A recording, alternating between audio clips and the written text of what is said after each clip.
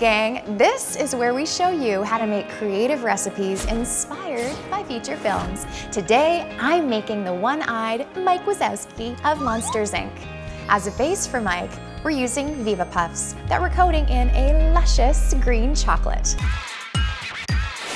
Did you know Mike is voiced by Billy Crystal, who turned down the role of Buzz Lightyear, one of his biggest regrets? We've used fondant for Mike's facial features. Did you know Mike's original animation had no arms? Neither does our recipe, which makes it much easier to eat later. Now this little piece is tiny, but it makes a realistic shimmer. Ta-da!